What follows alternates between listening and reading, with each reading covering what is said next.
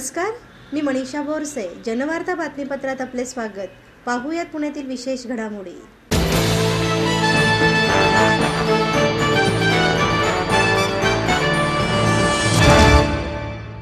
या वर्षाची अंगारकी चतुर्थी शेवटची असल्याने भाविकांनी मोठ्या प्रमाणात दगडूशेठ हलवाई गणपती मंदिरात दर्शनासाठी गर्दी केली होती. श्रावणातल्या अंगारकी चतुर्थीला विशेष महत्त्व आहे. या वर्षातले ही अंगारकी चतुर्थी शेवटची असणार आहे. दोन हजार सोळा वर्षात एकही अंगारकी चतुर्थीचा योग नसल्यामुळे पुणे शहरातील विविध गणपती मंदिरात भाविकांनी मोठ्या प्रमाणावर गर्दी केली होती.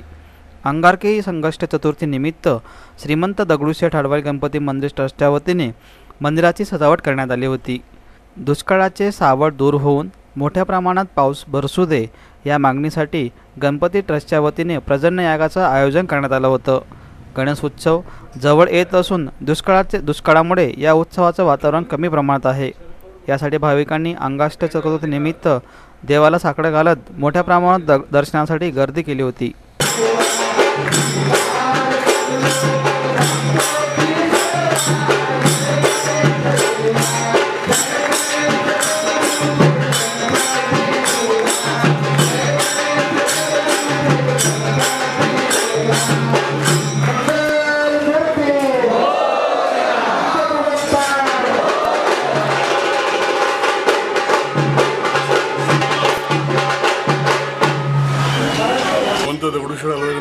संस्थेच्या वतीनं सगळ्या गणेश भक्तांचं आणि या केबलचं अत्यंत मनापासून स्वागत करतो.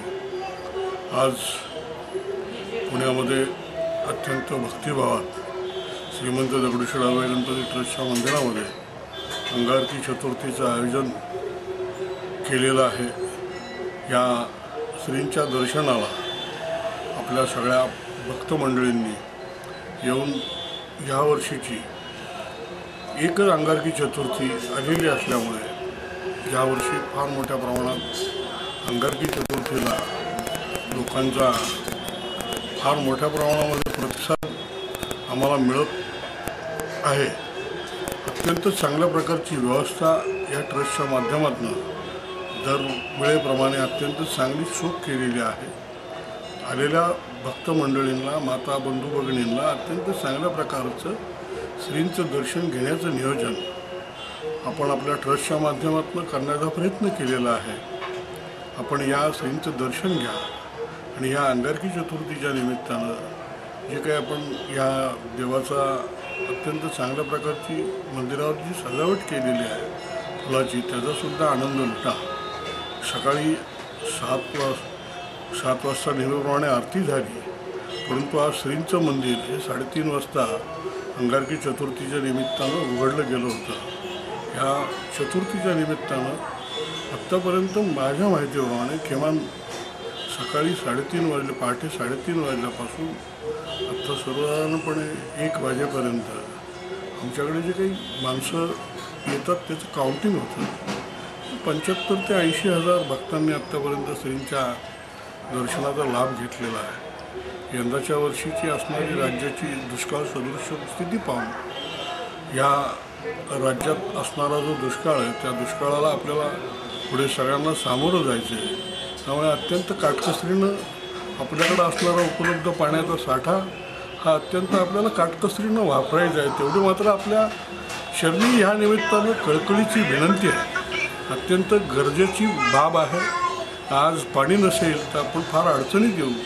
त्यामुळे पुण्यनगरीतल्या सगळ्या भक्त मंडळींना सगळ्या माता बंधू भगिनींना एक त्यांच्या चरणी विनम्र प्रार्थना की गुरुवारपासून या शहरामध्ये पाण्याचं जे काही नियोजन होणार आहे तर त्या नियोजनाच्या आधी आपण आपलंसुद्धा नियोजन करून अत्यंत जो काय पाऊस लांबलेला आहे आत्ता जर पडला नाही तर फार मोठ्या प्रमाणात आपल्याला दुष्काळ स्थितीला सामोरं जावं लागेल. आपण सगळेजण मिळून गणपती बाप्पाला आळूया आणि देवा गजानना या राज्यामध्ये पाऊस पडू दे. त्याच्याकरता श्रीमंत दगडूशेठ हलवाई पेटराच्या ट्रस्टच्या माध्यमातून एकतीस तारखेपासून पर्जन्य या पर्जन्य यागाची सुरुवात आपण केलेली आहे. चार तारखेला त्याची पूर्णाहुती आहे. आणि मला खात्री आहे आपल्या सगळ्यांच्या अळवणीनं गणपती बाप्पा आपल्याला निश्चित या संकटातनं बाहेर काढेल. पण तरीसुद्धा आपण संवेदनाशीलपणे आपल्यापुढे आलेल्या प्रसंगाची जाणीव आणि भान ठेवून इथून पुढच्या काळात पाण्याचं नियोजन करणं आपल्या दृष्टीनं अत्यंत फायद्याचं आणि इतर ठरणार आहे. तेव्हा या गणपती बाप्पाचं दर्शन घ्या. परंतु या निमित्तानं मला जी काही संधी मिळाली आपल्याशी संवाद साधण्याची तर आपल्या चरणी परत एकदा प्रार्थना करतो. अत्यंत जपून पाणी वापरा आणि या समाजाला आपण जे काही समृद्धीकडे चालवलेलं आहे त्याच्याकरता आपण त्यात एक सहभाग व्हा. हे आपल्या सगळ्यांकरताच चाललेलं आहे. आपण सगळेजण मिळूनच करत आहोत. एवढी भावना आपल्या सगळ्यांमध्ये असू द्यात. एवढंच या निमित्तानं आपल्याशी बोलतो. गणेशोत्सवाच्या आगामी गणेशोत्सवात या गणेशोत्सवात कार्यकर्ते आपलं स्वागत करण्याकरता आसूसलेले आहेत.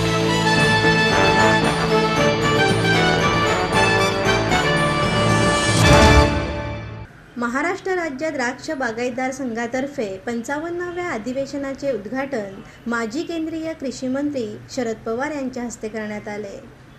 मुडभर असलेले स्टील उत्पादक अडचणीत आल्यानंतर त्यांचे कर कमी करण्यासाठी केंद्र सरकार लगेच तयार झाले. मात्र कोट्यावधींच्या संख्येत असलेल्या शेतकऱ्यांसाठी हा पुढाकार घेण्यास सरकार तयार नाही. महागाई कमी करण्याच्या नावाखाली शेतमालास कमी भाव देण्याचा प्रकार सरकारकडून सुरू होत आहे. शेतकऱ्यांबाबत केंद्र शासनाकडून होत असलेला हा जुजाभाव खपून घेतला जाणार नाही असे प्रतिपादन राष्ट्रवादी काँग्रेस पक्षाचे अध्यक्ष व माजी केंद्रीय कृषी मंत्री शरद पवार यांनी रविवारी पुण्यात व्यक्त केलं. महाराष्ट्र राज्य द्राक्ष बागायतदार संघातर्फे आयोजित पंच्याण्णव्या अधिवेशनाचे उद्घाटन पवार यांच्या हस्ते करण्यात आलं. पंच्याहत्तर वर्ष पूर्ण होत असलेल्या निमित्ताने द्राक्ष बागायतदार संघाच्या वतीने ज्येष्ठ साहित्यिक नादो महानोर व माजी मंत्री विनायक पाटील यांच्या हस्ते त्यांचा विशेष सत्कार करण्यात आला.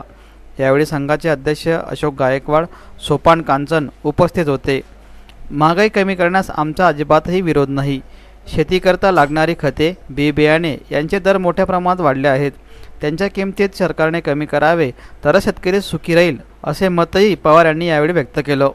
झाल्या प्रत्येक वेळेला साहेबांनी मदत केली. मग गारा असो पाऊस असो वारा असो वादळ असो पूर असो. आणि त्यातली त्यात शेतकऱ्यांचं नुकसान राहून यायचे मागच्या वर्षीच्या त्या सोलापूर जिल्ह्यामध्ये एवढ्या मोठ्या गारा झाल्या होत्या. साहेब अगदी चिखल तुळवीत बागांमध्ये गेले. तो कनवाळा कारण ते स्वतः पण शेतकरी आहेत. आपले दुःख त्यांना चांगले माहिती आहेत. आणि प्रत्येक वेळेला त्यांनी आपल्याला मदत करून द्या. मला तुम्हाला पण सगळं चांगलं आठवत असेल. का साहेब ज्यावेळेला देशाचे कृषी मंत्री झाले त्या वर्षी सुद्धा. आणि साहेब दहा वर्षाच्या नंतर ज्यावेळेला त्या खुर्चीवरून खाली उतरले त्यावेळेला एक्सपोर्ट केला आहे हा प्रज्ञा आणि कृतिशीलता यांचा साक्षात आविष्कार. शरदचंद्रजी पवार म्हणजे पुरोगामी परिवर्तनवादी आणि प्रगतिशील दृष्टिकोनाचे मूर्तिमंत प्रतीक. शरदचंद्रजी पवार यांनी करावं अशी मी त्यांना विनंती करते. बदलत्या जागतिकीकरणाच्या आजच्या काळातील द्राक्ष बागायतदार संघापुढील आव्हानं आणि त्यांना सामोरं जाण्यासाठी आवश्यक ते ज्ञान विज्ञान आणि तंत्रज्ञान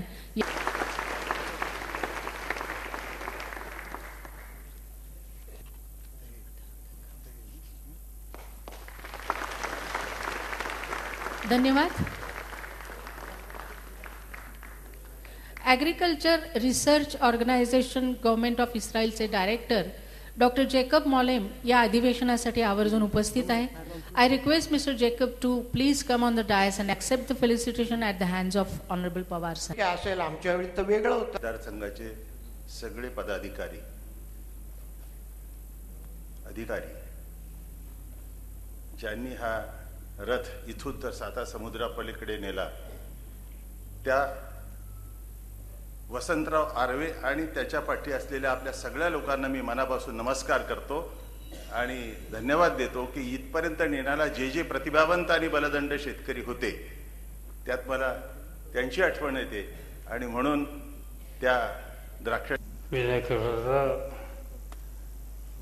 बाहेर बाहेरून सगळे सहकारी विविध क्षेत्रातले मान्यवर आणि द्राक्ष उत्पादक बंधू भगिनींनो गेली अनेक वर्ष मी येत असतो आणि साधारणतः द्राक्षाच्या प्रश्नाच्या संबंधी आपली चर्चा होत असते असा हा अधिवेशनाचा कार्यक्रम काहीतरी वेगळा हे इथं आपली संघटना सांभाळणारे सोफान कांचन आणि आज मार्गदर्शनाच्यासाठी या ठिकाणी उपस्थित आहेत. ते महाराष्ट्रातले सुप्रसिद्ध कवी पद्मश्री महानोर विनायकराव भारताच्या बाहेरून आलेले सगळे सहकारी विविध क्षेत्रातले मान सबंध द्राक्ष बागायतदारांच्या विविध प्रश्नांच्या संबंधीची मांडणी मी माझ्या मनामध्ये करतोय. तर एकच गोष्ट मला सारखी पुन्हा पुन्हा जाणवते की यंदाच्या वर्षी छाटणी करायची का नाही? छाटणी करायला सांगावं का सांगू नये? जूनची सुरुवात थोडीशी पावसाने झाली. जुलै ऑगस्ट कोरडा गेलाय. जो काही भरोसा आहे तो सप्टेंबरमध्ये आणि सप्टेंबरचा पाऊस जर पडला तर द्राक्ष टिकू शकतील. आणि सप्टेंबरमध्ये फटका जर पावसाचा बसला मला माहिती नाही किती जणांच्या बागा शिल्लक जातील अशी परिस्थिती आहे का नाही? आणि त्यामुळं यावर्षी तसे गेले दोन तीन वर्ष चमत्कारिक होती. पण यावर्षीची स्थिती ही अतिशय गंभीर आहे.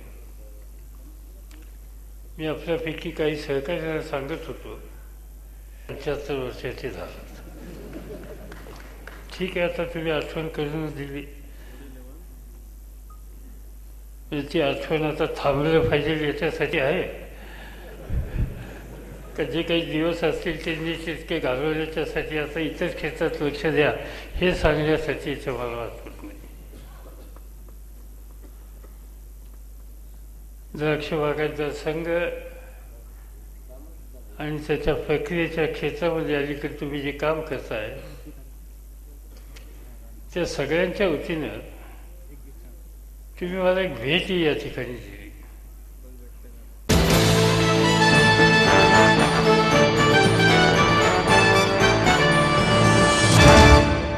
आपलं स्वप्न आपलं मन आपलं स्वतःचं घर हेच खरं धन. समृद्ध जीवन पार्क सादर करत आहे एकशे चाळीस फ्लॅट्सची एक प्रशस्त गृह योजना कात्रज कोंढवा रोडवर बिबवेवाडीपासून फक्त दोन किलोमीटर अंतरावर आपल्या आर्थिक गणितात बसणारे वन व two B H K flats. तब्बल तीन मजली पार्किंग सह ऐस पैस गार्डन क्लब हाऊस आणि इतर सुविधांनी सुसज्ज. बुकिंगसाठी संपर्क nine eight five zero nine three seven three seven three nine eight five zero nine four seven three seven three. समृद्ध जीवन नांदी सौभाग्याची सुरुवात प्रगतीची.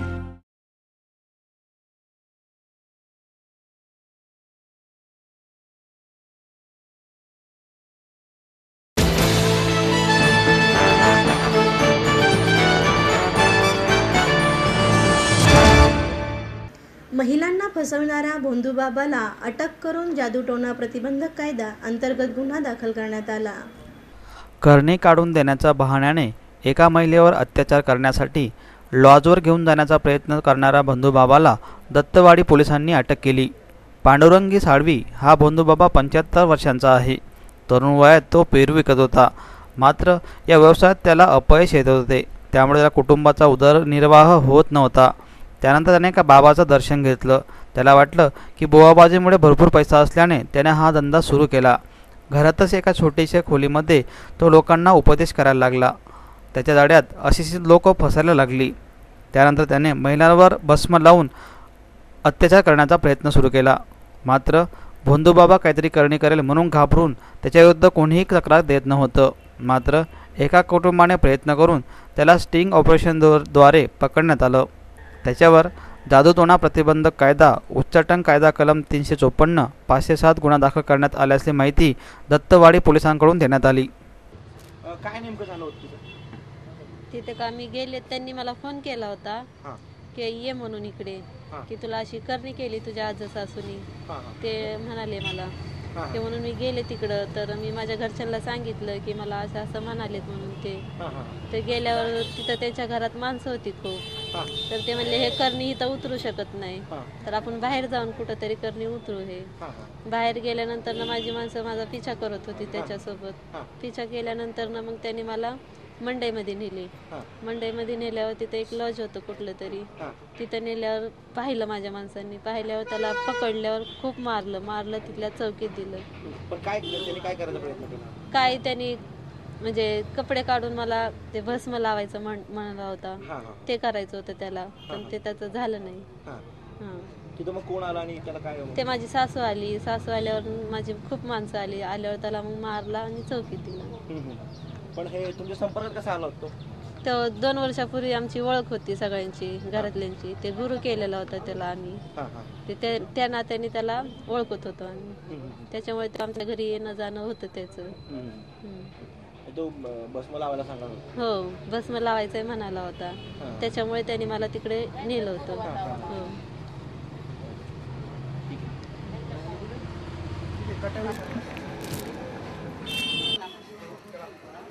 फोन करून सारखं ब्लॅकमेल करत होता म्हणा मला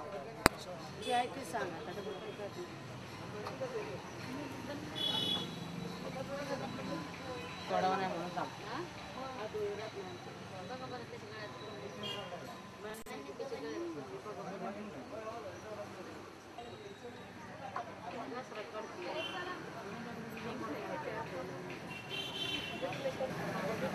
आमच्याकडे काल म्हणजे तीस तारखेला आमच्याकडे एक महिला तक्रार घेऊन आली होती. त्याने एका बाबाला आमच्याकडे पकडून आणलं होतं. त्यांचं म्हणणं असं आहे की त्या म बाबाला तिची सासू जी आहे ती गेली दोन वर्षापासून ओळखते. आणि त्या सासूनी त्या बाबाला गुरु मानलेलं होतं. आणि आता ही महिला त्यांच्याकडे जेव्हा तिच्या बहिणीसोबत गेली होती दोन आठला त्यांच्याकडे गेलेली होती. त्यावेळेस ह्या बाबांनी तिला सांगितलं होतं की तुमच्यावरती तुमच्या आजी सासूनी करणी केलेली आहे. आणि आजी सासूने तुमच्यावरती करणी केलेली आहे आणि तुम्हाला जर समजा करणी काढायची असेल तर ह्याच्यासाठी तुम्हाला माझ्याकडे पाच वेळा यावं लागेल. आणि ती म सदरची महिला आणि तिची बहीण अशा दोघीजणी गेलेल्या होत्या.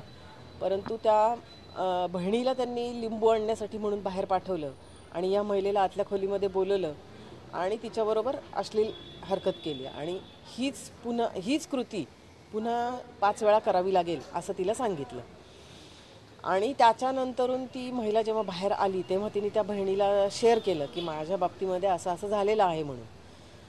तीस तारखेला त्या बाबांचा पुन्हा त्या महिलेला फोन आला आणि सांगितलं की आपल्याला ते पुन्हा करायचं आहे त्यामुळे तू ये. त्या महिलेने जेव्हा नकार दिला तेव्हा तिला त्यांनी धमकी दिली. की तू जर आली नाहीस तर मी तुझी बदनामी करेन. असं सांगून त्या महिलेने मग सदरची बाब आपल्या सासूला आणि तिची मावस सासू जी आहे या दोघींना सांगितली. मग ह्यांनी असं ठरवलं की तू जा आणि आम्ही तुझ्या पाठीमागे येतो. असं सांगून ही सदरची महिला त्या बाबाबरोबर गेली. बाबा तिला एका लॉजमध्ये घेऊन गेला. त्याच वेळेस हिनी सासूला आणि त्या मावस सासू ह्या दोघीजणी पाठीमागून येतच होत्या. त्यांनी त्या लॉजवरती त्या सासूला वगैरे बोलवून घेतलं आणि त्या बाबाला पकडून पोलिसांच्या स्वाधीन केलं. मंडई चौकीला पहिल्यांदा ते घेऊन गेले होते आणि मंडई चौकीच्या लोकांनी त्या बाबाला आमच्या दत्तवाडी पोलीस स्टेशनला हजर केलं. त्याच्यानंतर आम्ही त्या महिलेची फिर्याद घेतलेली आहे. पुढील तपास आम्ही आद करत आहोत. याच्यामध्ये मला स सर्व महिलांना हे सांगावं असं वाटतं की अशा प्रकारे जे बाबा म्हणून जे फसवतात या लोकांवरती पहिली सगळ्यात महत्त्वाची गोष्ट म्हणजे तुम्ही विश्वास ठेवू नका. आणि जर तुमच्या मनामध्ये भीती असेल की ह्या बाबांमध्ये अशी काहीतरी अद्वैत शक्ती असते किंवा ते आपल्या काहीतरी वाईट करतील तर ही भीती मनातून काढ काढून टाका. ते अशा पद्धतीने कुठल्याही प्रकारे तुम्हाला त्रास देऊ शकणार नाहीत. तुम्ही अगदी निर्धास्तपणे पोलिसांकडे या.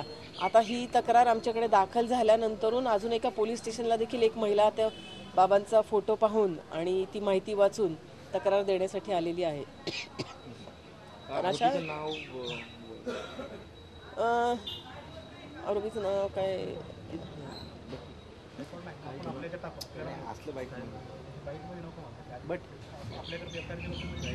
एफ कॉपी आहेच अं, काय ह्याच्यामध्ये आपण तीनशे चोपन्न भारत भादवी कलम तीनशे चोपन्न अ प्रमाणे गुन्हा दाखल केला आहे तसंच अंधश्रद्धा निर्मूलन कायदा कलम तीन प्रमाणे आपण ह्याच्यामध्ये गुन्हा दाखल केलेला आहे. निश्चित. ज्या अर्थी आज एक महिला आली कालची फिर्याद वाचून आज एक महिला आली. याचा अर्थ अजून अधिक महिला असण्याची पण शक्यता आहे. पण माझं सर्व महिलांना हेच आव्हान आहे की ज्या ज्या महिलांच्या बाबतीमध्ये असा काही प्रकार झालेला असेल तर त्यांनी पोलिसांकडे निर्धास्तपणे यावं.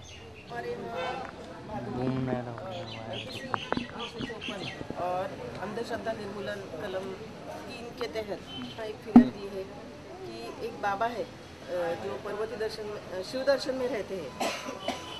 उनको उनकी सांस जो है दो तारीख को दो आठ को दो अगस्त को ये बाबा के पास गई थी और बाबा को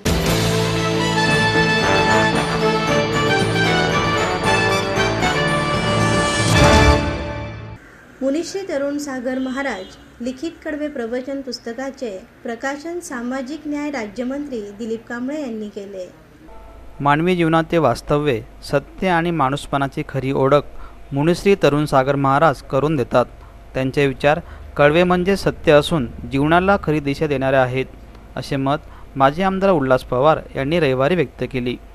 मुनिश्री तरुण सागर महाराज लिखित कळवे प्रवचन भाग आठ या पुस्तकाचे प्रकाशन या पुस्तकाचे प्रकाशन सामाजिक न्याय राज्यमंत्री दिलीप कांबळे यांच्या हस्ते करण्यात आलं. याप्रसंगी प्रमुख पाहुणे म्हणून पवार बोलत होते. सामाजिक कार्यकर्ते डॉक्टर कल्याण गंगवाल हनुमंत साठे सकल जैन सुमिता शहा अतुल शहा सुजाता शहा विनोद जैन यांच्यासह अधिक मान्यवर उपस्थित होते. जग वेगाने पुढे जात असताना माणसाची वृत्ती मात्र संकुचित होत चालली आहे. जात धर्म या समाजाला विभागले जात असून संत व महापुरुषांदेखील त्यात बांधले जात आहे. ही अत्यंत दुर्वि दुर्दैवी गोष्ट असल्याचं मत पवारांनी यावेळी व्यक्त केलं. अशा या महाराजांच्या की जे जैन समाजाची ओळख बनलेली आहे. अशा या महाराजांच्या कडवे प्रवचन भाग आठ याचं विमोचन समारंभ आज या ठिकाणी संपन्न होणार आहे. याचं वैशिष्ट्य कडवे प्रवना प्रवचनाचं वैशिष्ट्य मी आपल्याला फारसं सांगण्यात काही कारण नाही आहे चौदा भाषामध्ये हे पुस्तक प्रकाशित झालेलं आहे. दहा लाख प्रती आत्तापर्यंत याच्या खपलेल्या आहेत. हे ग्रीच बुक वर्ल्ड रेकॉर्डचे जे पुस्तक आहे त्याच्यामध्ये याची नोंद झालेली आहे.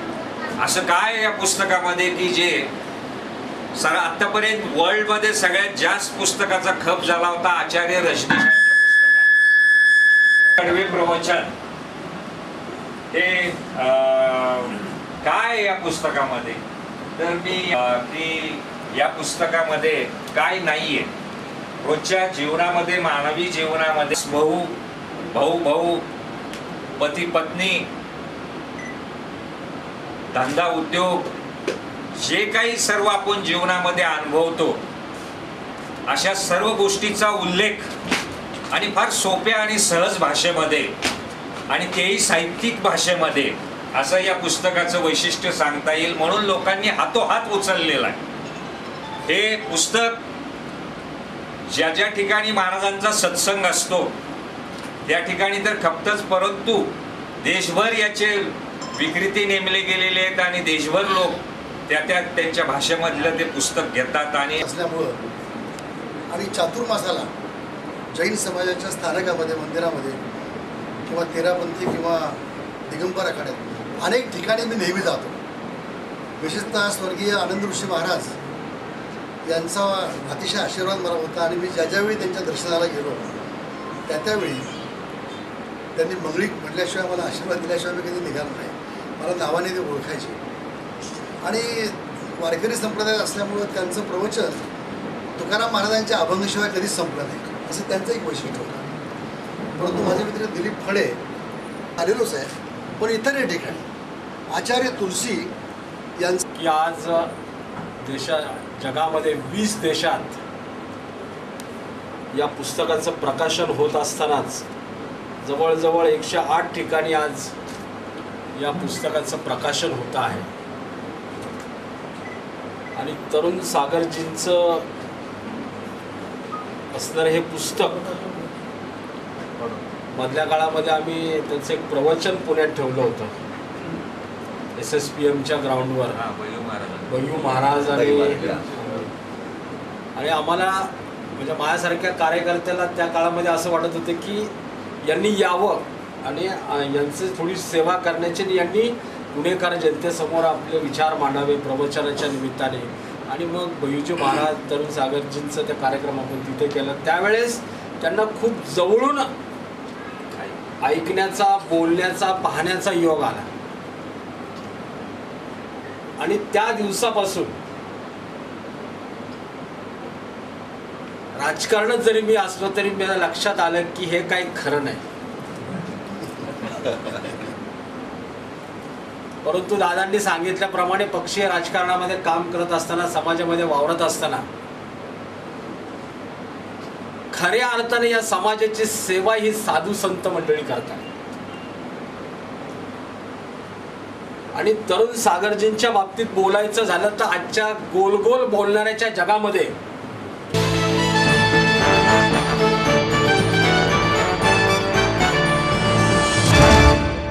आपलं स्वप्न आपलं मन आपलं स्वतःच घर हेच खरं धन. समृद्ध जीवन पार्क सादर करत आहे एकशे चाळीस फ्लॅटची एक प्रशस्त गृह योजना कात्रज कोंढवा रोडवर बिबवे वाडीपासून फक्त दोन किलोमीटर अंतरावर.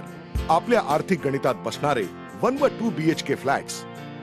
तब्बल तीन मजली पार्किंग सह ऐस पैस गार्डन क्लब हाऊस आणि इतर सुविधांनी सुसज्ज. बुकिंगसाठी संपर्क nine eight five zero nine three seven three seven three. Nine eight five zero nine four seven three seven three. समृद्ध जीवन. नांदी सौभाग्याची सुरुवात प्रगतीची.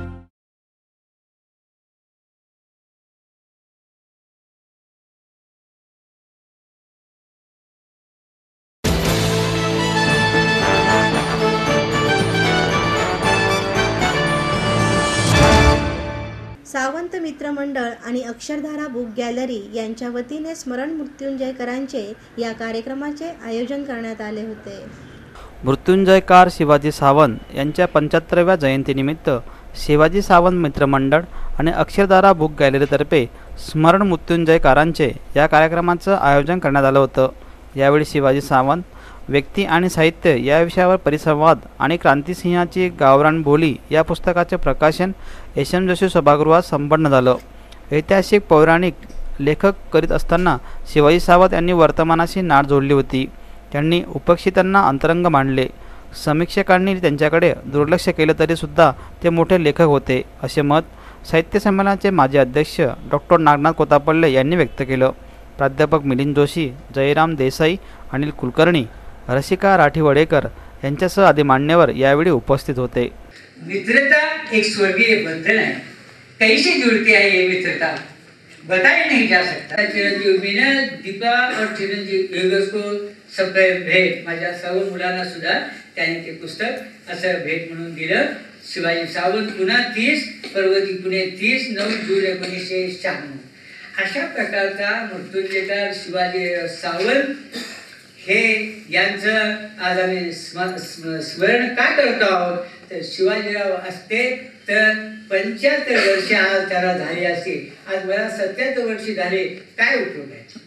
मी माझ्या आयुष्य काय शिवाजीरावांना मिळालं असतं तर त्यांच्याकडून अनेक काहीतरी साहित्य निर्माण झालं तर माझं दुर्दैव शिवाजीराव सावंत सारखा आमचा बालमित्र मोठा लेखक आणि अनेक प्रकाशकांना सुद्धा त्यांनी मोठं केलं असतं. तर दुर्दैव आमचा असो तर अशा या माझ्या मित्राचं सम- स्मरण आज आम्ही करतो आहोत. त्या दृष्टिकोनातून आज या ठिकाणी वक्ते म्हणून माननीय अं, मिलिंद जोशी बोलणार आहेतच. माझ्याशी संपर्क झाला परंतु ताईनं पत्रिका आता म्हटलं काय पुन्हा छापून ते दरम्यानच्या काळात मी पत्रिका छापून टाकल्या वाटल्या. आणि मग ताईनं आम्ही काय पत्रिका हे पुस्तक मराठीतलं एक महत्वाचं चांगलं पुस्तक आहे त्याचं कारण असं की त्या निमित्ताने क्रांतिसिंह नाना पाटील यांचे विचार आणि त्यांचं बोलणं हे पुन्हा एकदा आपल्या डोळ्यासमोर येईल.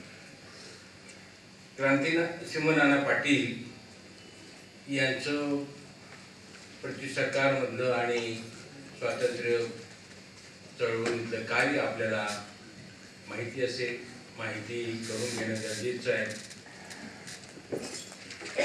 हे पुढे अं, म्हणजे यांचा संबंध मराठवाड्याशी आला. त्यांना जेव्हा अर्थातच अं, त्यांची वाणी त्यांची लेखणी त्यांचं सगळं व्यक्तिमत्व असं होतं की पुष्कळ गावामध्ये त्यांच्या बोलण्यावरती पोलिसांच्याकडून बंधने येत असत. आणि ते पेटून देतात लोकांना. नंतर दंगल होते किंवा नंतर काही घोटाळे होतात असं साधारणतः प्रशासनाचा समज होता तेव्हा ते बीडवरून उभे होते खासदाराच्या निवडणुकीला. आणि बीड जिल्हा जिल्हाधिकाऱ्यांनी त्यांना अं, भाषण करण्यास बंदी केली की नाही इथे बीडमध्ये आपण भाषण नाही करायचं. तेव्हा बीडच्या अगदी जवळ एक गाव आहे. एक पाच किलोमीटर अंतरावरती आनंदवाडी या नावाचं. त्या गावामध्ये क्रांती सिंहाची सभा झाली आणि अख्खं बीड त्या सभेला लुटलं म्हणजे कलेक्टरचा जो हेतू होता की इथे त्यांनी भाषण करू नये पण अख्खं बीडच तिथे लोटलं आणि क्रांती सिंहाच्या सभेला ते उपस्थित राहिले. असा हा एक मोठा जबरी वक्ता आणि शेतकऱ्यांच्या बद्दल तळागाळातल्या लोकांच्या बद्दल शोषितांच्या बद्दल कमालीची आस्था असणारा नेता हा या काळामध्येच काय आज तागाय सुद्धा दुर्मिळ अशा प्रकारची गोष्ट झालेली आहे. सावंतांच्या लेखणीमध्ये आहे. आता हे करत असताना शिवाजीराव आम्ही जन्माला आलेल्या शिवाजीराव सावंताने आपलं नाव आपला जिल्हा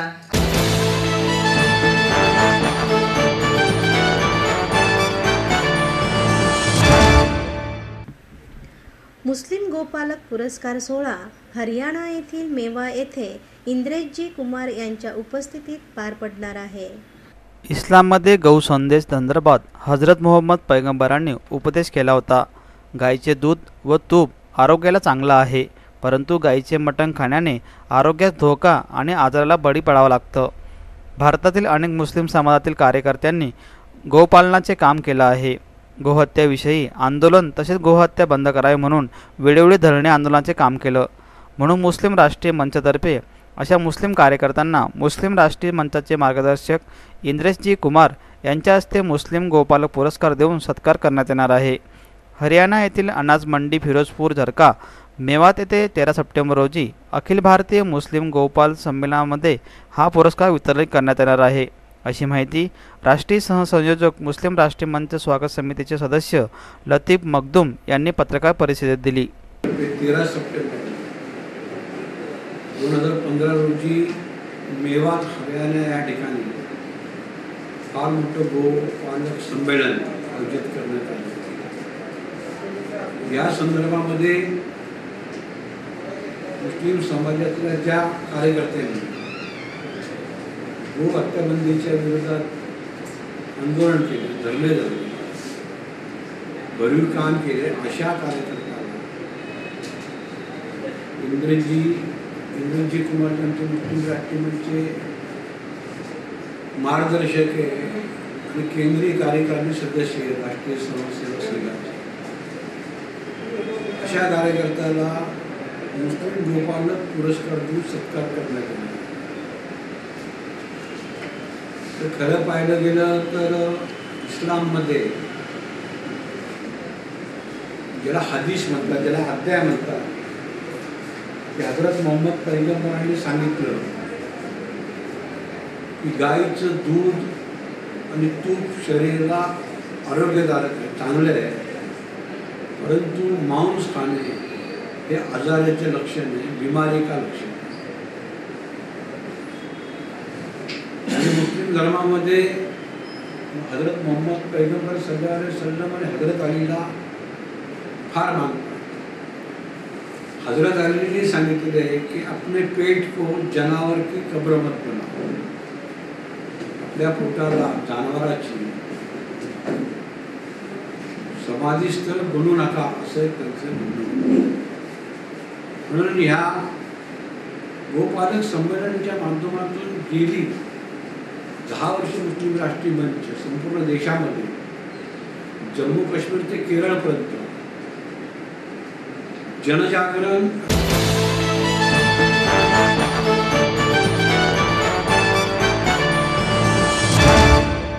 आपलं स्वप्न आपलं मन आपलं स्वतःच घर हेच खरं धन. समृद्ध जीवन पार्क सादर करत आहे एकशे चाळीस फ्लॅटची एक प्रशस्त गृह योजना कात्रज कोंढवा रोडवर बिबवे वाडीपासून फक्त दोन किलोमीटर अंतरावर. आपल्या आर्थिक गणितात बसणारे वन व two B H K flats. तब्बल तीन मजली पार्किंग सह ऐस पैस गार्डन क्लब हाऊस आणि इतर सुविधांनी सुसज्ज. बुकिंगसाठी संपर्क nine eight five zero nine three seven three seven three nine eight five zero nine four seven three seven three. समृद्ध जीवन. नांदी सौभाग्याची सुरुवात प्रगतीची.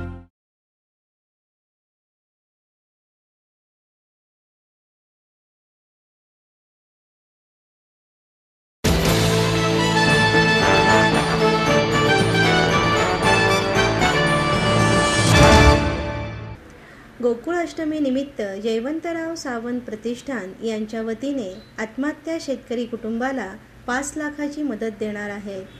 गोकुळ अष्टमीच्या दुसऱ्या दिवशी गोपाळकाला दहीहंडी महोत्सव मोठ्या प्रमाणात साजरा करण्यात येतो. या उत्सवादरम्यान तरुणांकडून भरपूर खर्च होऊन डीजे डीजे आणि इतरत्र मोजमोजा करण्यात येते. यावर्षी दुष्काळाचे सावट मोठ्या प्रमाणावर आहे. मराठवाड्यात पाण्याचा थेंबणही त्यामुळे भरपूर शेतकऱ्यांनी आत्महत्या केल्यामुळे या कुटुंबांची आर्थिक उदरनिर्वाहाचा प्रश्न निर्माण झाला आहे. यासाठी काहीतरी समाजात देणं लागतो. यामुळे जयवंतराव सावंत प्रतिष्ठानच्या वतीने दहीहंडी महोत्सव एक आगळ्या वेगळ्या पद्धतीने साजरा करण्यात येणार आहे. दहीहंडी निमित्त संकलित केलेला निधी त्यापैकी पाच लाख रुपये आत्महत्या केलेल्या शेतकऱ्यांच्या कुटुंबाला मदत म्हणून देण्यात येणार आहे. याच पार्श्वभूमीवर भगवद्गीताविषयी जनजागृती व्हावी यासाठी परिसरातील ज्येष्ठ नागरिकांना भगवद्गीता वाटपाचा कार्यक्रम देखील करण्यात येणार असल्याचं मत गिरीराज सावंत यांनी यावेळी व्यक्त केलं. आली. त्या माळीन गावाला दहंडी साजरा करत असताना सामाजिक भान ठेवण्याच्या माध्यमातून आपण एक लाख रुपयाची त्या गावाला मदत केलेली आहे. आणि या वर्षी हा महाराष्ट्र हा दुष्काळाने होरपळलेला महाराष्ट्र आहे.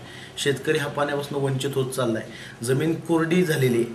पावसाचा एक टिपका सुद्धा या मराठवाड्यामध्ये विदर्भामध्ये नाही आहे हे भान ठेवून हा कार्यक्रम रद्द हा कार्यक्रम रद्द करून पूर्ण अनुदान त्या ठिकाणी न देता ह्या कार्यक्रमाला कार्यक्रमाच्या माध्यम माध्यमातून इंजिनियर्स डेच्या माध्यमातून पाच लाखाचा निधी हा पूर्ण मराठवाडा आणि विदर्भामध्ये आम्ही देणार आहोत. पुस्तक दहीहंडी. भगवद्गीता आदल्या दिवशी दहीहंडी ही सहा तारखेला आहे. सहा तारखेला गोपाळगाळ आहे. आणि पाच तारखेला आपण ही दहंडी साजरा करतोय श्रीकृष्ण जयंतीची. भगवद्गीता वाटपाचा ह्यात सगळ्यात महत्त्वाचा मुद्दा की जयंती रात्री बारा वाजता श्रीकृष्णाचा जन्म होतो. आणि त्या माध्यमातून तो भगवद्गीताच्या माध्यमातून प्रसाद हा प्रत्येकाच्या घरी ज्येष्ठ नागरिकांना आपण जे नवरा बायको असतात व समाजातले ज्येष्ठ नागरिक त्यांना हा भगवद्गीताचा प्रसाद म्हणून आपण देणार आहोत. असे पाच हजार भगवद्गीताचा वाटपाचा कार्यक्रम घेणार आहे.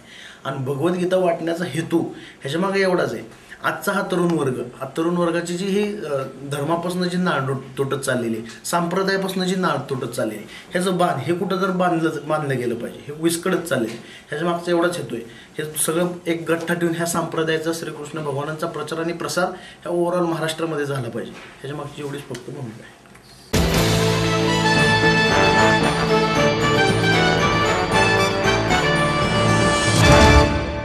आपलं स्वप्न आपलं मन आपलं स्वतःचं घर हेच खरं धन. समृद्ध जीवन पार्क सादर करत आहे एकशे चाळीस फ्लॅटची एक प्रशस्त गृह योजना.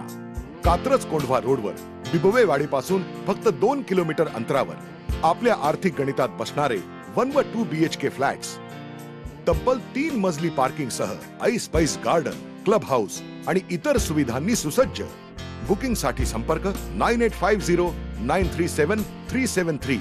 Nine eight five zero nine four seven three seven three. समृद्ध जीवन. नांदी सौभाग्याची सुरुवात प्रगतीची.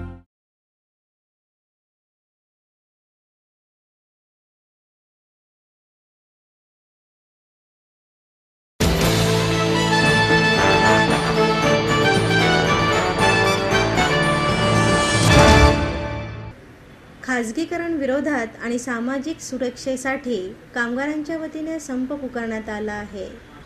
कामगार कायद्यात होणारे बदल तसेच सर्व क्षेत्रातील खाजगीकरण आणि असंघटितांचा सामाजिक सुरक्षेकडे होणारे दुर्लक्ष याविरोधात देशातील अकरा मध्यवर्ती कामगार संघटनांनी दोन सप्टेंबरला देशव्यापी संप पुकारला आहे.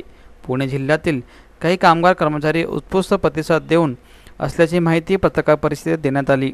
या आंदोलनामध्ये सरकारी क्षेत्रातील कामगार कंत्राटी कामगार वित्त संरक्षण बँका विमा पोस्ट दूरसंचार कर्मचारी पुणे मनपा मार्केट यार्ड कर्मचारी हमाल मापाडी माथाडी कामगार घरेलू कामगार यांच्यासह विविध कामगार संघटना सहभागी होणार आहेत. यावेळी कामगार आयुक्त कार्यालय आणि अलका टॉकी चौक या दोन ठिकाणाहून मोर्चांचे आयोजन करण्यात आलं आहे. शेवटी डॉक्टर बाबासाहेब आंबेडकर पुतळ्याजवळ हा मोर्चा संपवण्यात येणार असल्याची माहिती यावेळी देण्यात आली. संरक्षण क्षेत्रामध्ये नियमित कंत्राटदाराचा मॅच असलेले कपडे घालून लोक नियमित उत्पादनासाठी ॲम्युनेशन फॅक्टरीमध्ये जातात. हे दृश्य माहीत नव्हतं. तर तिथे गेल्यानंतर आम्हाला समजलं. आम्ही पाहिलं तिथं प्रत्यक्ष. आणि आम्हाला खरोखर म्हणजे जेवढा धक्का वाचून नव्हता तेवढा तिथं प्रत्यक्ष बघून बसला. ही गोष्ट देशाच्या भवितव्याच्या दृष्टीने अत्यंत घातक आहे. आणि ते कंत्राटी कामगार त्यांनाही पुन्हा कायद्याची पूर्तता नाही त्यांचं प्रॉव्हिडंट फंड आहे का नाही त्यांना पगार किती मिळतो त्यांच्या सुविधांकडे इतकं दुर्लक्ष आहे.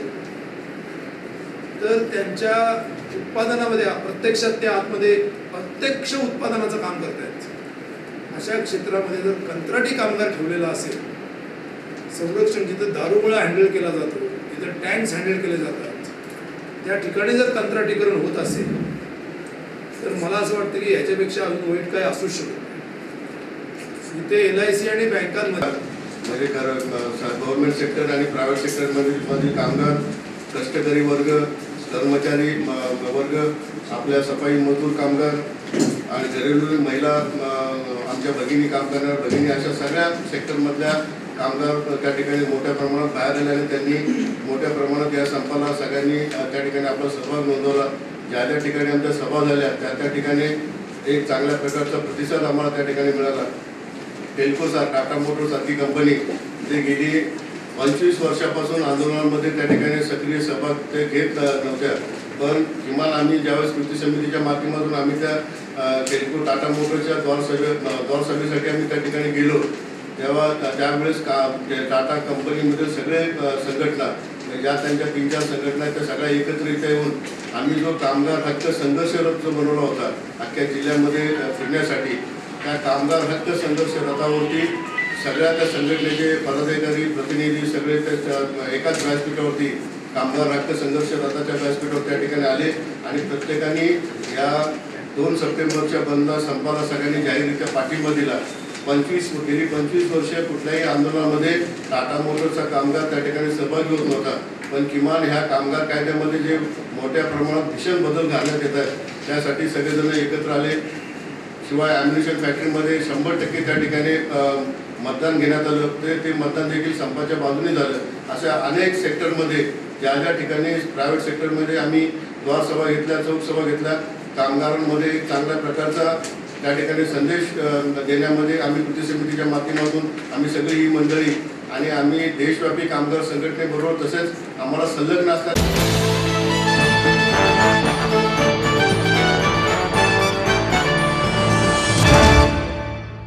याचबरोबर जनवार्ता बातमीपत्र संपले. उद्या पुन्हा भेटू. याच वेळी नमस्कार.